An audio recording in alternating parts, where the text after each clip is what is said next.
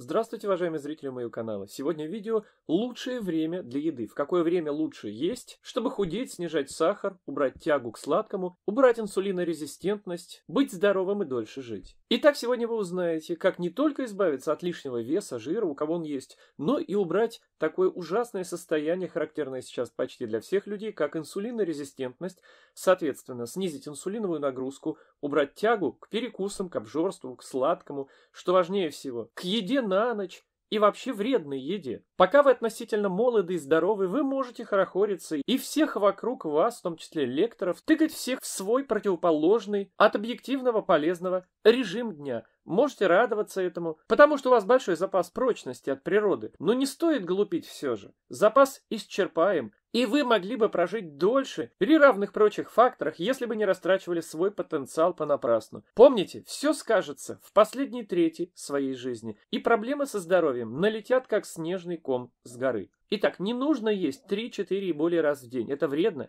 это неестественно, не физиологично. Это вредно для переваривания и усвоения многих продуктов и их компонентов нужно до 8 часов времени, помните об этом. Очень вредно смешивать несовместимые и трудноперевариваемые продукты между собой, например, белки и быстрые углеводы, то есть сахара. То есть то самое классическое изречение первое, второе, третье и компот – это ужасная, неестественная комбинация обжор и больных людей. Нельзя есть постоянно и очень вредно перекусывать. Организму нужен большой период времени для новых порций еды, для нормального переваривания и усвоения уже того, что вы съели ранее, для самоочищения, наконец, для нормальной работы всех органов и систем, которые не должны переваривать пищу круглые сутки. Организму нужна энергия и как можно больше, но не нужен сахар, а нужны жиры. Во многих своих лекциях я все это уже пояснял, Пояснял пошагово и полно. В этом видео я не буду по ходу изложения давать ссылки на те или иные лекции, а дам их в самом конце этого видео для тех, кому действительно они будут нужны для дальнейшего изучения и конспектирования. Но я все же советую это сделать. Кетоз, кето-диета – это основа здоровой энергии, а сахара, они вредны и не нужны организму вовсе – Сахар, помните об этом, всегда образуется из жиров и белков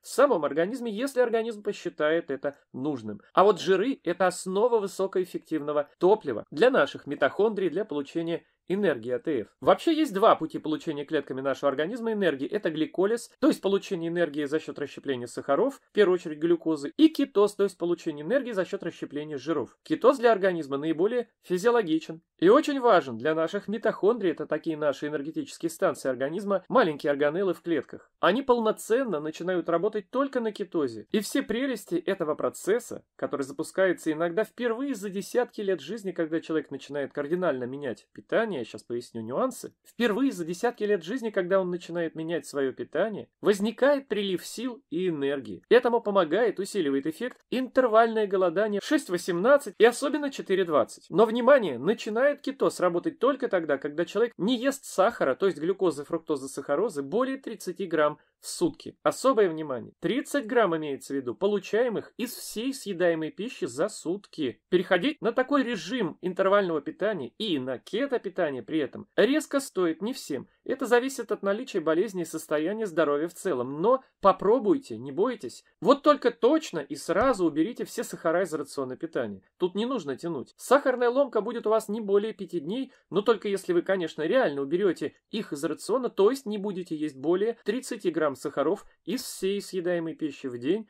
Помните, и в укропе, и в редиске, и в чесноке есть сахара, только мало. Потому считать надо сахара из всей съедаемой пищи, даже если вы считаете почему-то, что в этой пище сахара нет и считать их поэтому не нужно, уверяю, есть. Даже в хрене, в луке, тоже есть глюкоза, просто мало. Перейдя на интервальное питание и на кето при этом, вы повысите тестостерон, гормон роста, укрепите, а не ослабите мышечную массу, избавитесь от лишнего жира, запустите процесс аутофагии, то есть самоочищение на клеточном уровне. Этот процесс заложен в нас, а вы его просто активируете. В итоге вы продлите себе жизнь и укрепите здоровье, то есть продлите долгие здоровые годы жизни. У кого лишний вес уже давно, кому мало помогают любые диеты, у кого замедлен тем самым метаболизм, нужно перейти в итоге на питание один раз в день и не позднее 14.00. А если этого будет недостаточно, если вы при этом не будете снижать жировую массу свою, то нужно перейти на питание один раз в два дня. Если же перейдя на такой режим питания и на кето по типу питания, вы будете наблюдать, как уменьшается ваш живот, скажем, или бока, через 5-6 дней, то у вас нормальный обмен веществ, это хорошо, так и должно быть. Конечно, если вы почти не худеете, имея повышенную массу тела уже давно, можете раскачать свой организм, свой метаболизм и перезапустить его на длительном голодании, скажем, от двух недель до месяца. И уже потом, постепенно начиная питаться, перейти на двухразовое, уже адекватное полноценное питание, желание остаться на нем. Пока вы молоды,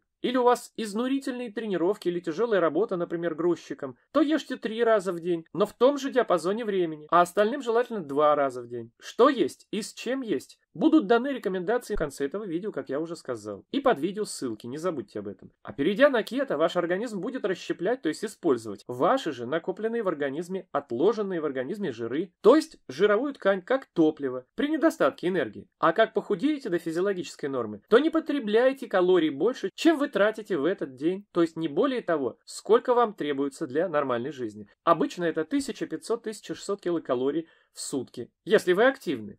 Но не спортсмен, не шахтер. Им требуется, конечно, больше. К тому же, изменив свое питание, режим, рацион, перейдя на кето, вы снимете нагрузку с многих органов, в том числе с поджелудочной железы. Вам будет практически не нужен вырабатываемый поджелудочной железой гормон инсулин. У вас пройдет инсулинорезистентность. У кого повышен, снизится сахар, а митохондрии станут активными. Минусов никаких не будет, одни плюсы. Будет больше энергии, яснее станет ум, улучшится память и придет желание жить и творить. Эти положительные чувства будут ярче, а у кого-то впервые проснутся. И помните, на сахар люди массово перешли в качестве основного источника энергии всего лет сто назад. И тут начались массовые болезни века. От сахарного диабета второго типа до аутоиммунных болезней и онкологии. Но когда же лучше всего есть? В каком диапазоне? Итак, есть надо первый раз не ранее 10 утра.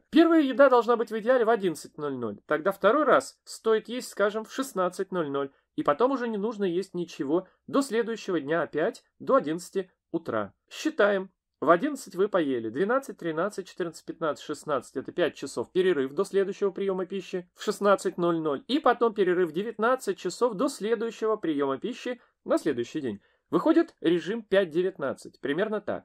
Если вы встаете рано, скажем, в 5 утра, то можно первый раз поесть и в 10 утра. Тогда ешьте второй раз в 16.00. В этом случае вы сделаете до утра следующего дня перерыв в 18 часов, и это тоже хорошо. Выйдет режим 6.18.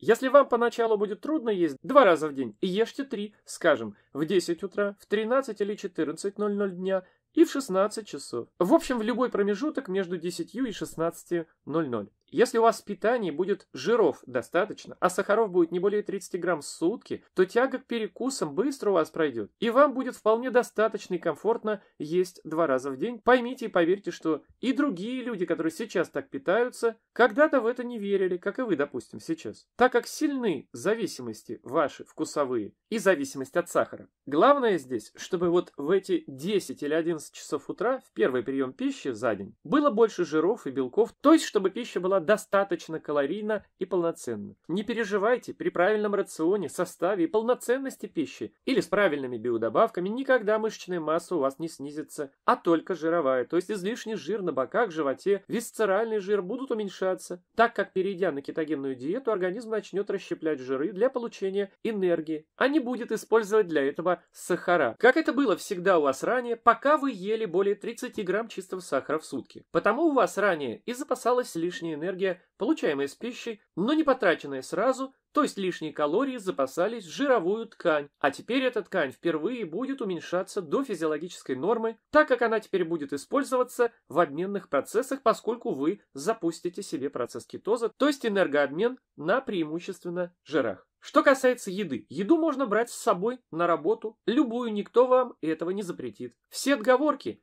это желание успокоиться мыслью, что от вас ничего не зависит. Нет, от вас зависит все. Остальное это ложь и самообман. Взяли еду на работу и съели в перерыв, скажем, в 13.00 или 16.00, если вы работаете, скажем, до 17, 18 и так далее. А придя домой, уже есть ничего не надо. Как вы к этому привыкли? И это не потребность, а ваша привычка и зависимость. А якобы потребность, как вы считаете, может быть только от вашей инсулинорезистентности, так как вы ее в свое время создали частыми перекусами и сладким, и вечерним питанием многоразовым в день питанием. А после 16.00 можно пить только воду или травяной чай. Ну а уж если вы очень хотите есть, как вам кажется, по крайней мере вы это ощущаете, поначалу, а такое по первости может быть, потом пройдет, поверьте. Так вот, хочется очень, не в моготу, примите тогда псилиум, разведите его в воде и примите, только польза будет. Но калорий и пищеварения вы с этого продукта не получите. При этом вы останетесь в режиме, в кетозе, то есть вы останетесь в программе. Ничего при этом не собьется. А чувство голода уйдет. Можно принимать и белую глину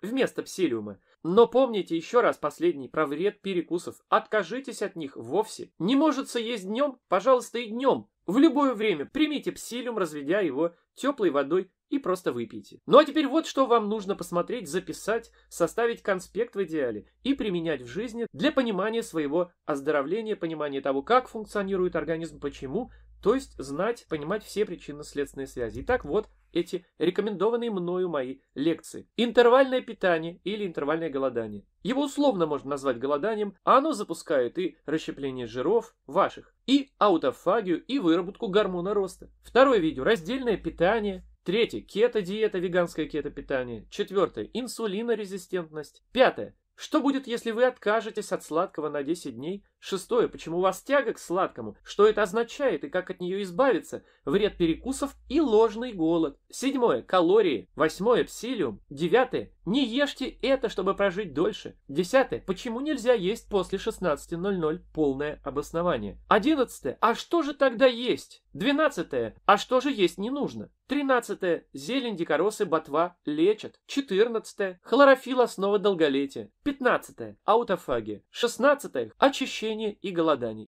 Обязательно поделитесь ссылкой на данное видео с вашими друзьями, коллегами, товарищами. Помогите распространить мне данное видео. Пусть это будет вашей благодарностью мне за мой труд и время, которое я трачу на создание данных видео. Все честно и справедливо. Это важно, я не просто так это делаю. Ну а на этом все. Я желаю всем хорошим, честным и порядочным людям крепкого здоровья.